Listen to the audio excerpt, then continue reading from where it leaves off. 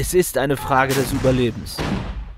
Wenn den Ukrainern weiter die Geschosse ausgehen, aus dem Westen zu wenig Munition kommt, dann ist die Frontlinie im Osten so nicht zu halten. Dann werden weitere Städte fallen. Wir sind hier in einer Artillerieposition mitten im Wald, alles verschneit natürlich und dies versteckt ungefähr neun Kilometer von den Russen entfernt. Das große Problem der Ukrainer hier ist, sie haben kaum noch Munition, um zu schießen. So absurd es in einem Krieg gegen einen übermächtigen Gegner klingt, die Männer müssen sparsam mit ihrer Munition umgehen. An einigen Tagen können sie gerade mal ein, zwei Schuss abfeuern. Dazwischen verstecken sie sich in selbstgegrabenen Bunkern und Schützengräben, bei Temperaturen um den Gefrierpunkt. Diese Einheit hier wartet dringend auf Nachschub.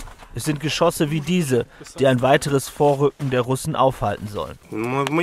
Ich habe eine ganz klare Botschaft an den Westen. Bitte helfen Sie uns, unser Land zu befreien. Eine Botschaft für die Russen hat er auch. Schreibt Grüße auf eines der letzten Geschosse. Die leeren Munitionskisten stehen symbolisch für die Probleme, die die ukrainische Armee momentan hat.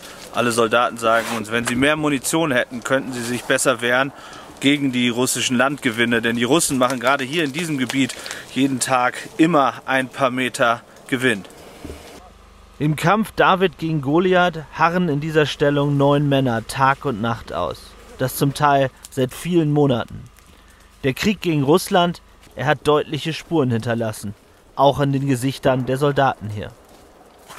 Aus Sorge vor russischen Drohnen, die nach Stellungen wie dieser suchen, setzen wir unser Gespräch in einem der Bunker fort. Es ist stickig, dunkel und eng, aber auch warm. Der einzige Komfort für diese Soldaten.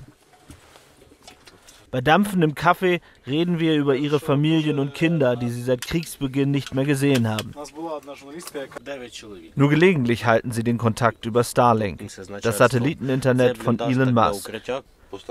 Eine Mobilmachung, sagen sie, endlich an der Front abgelöst zu werden, das wünschte man sich.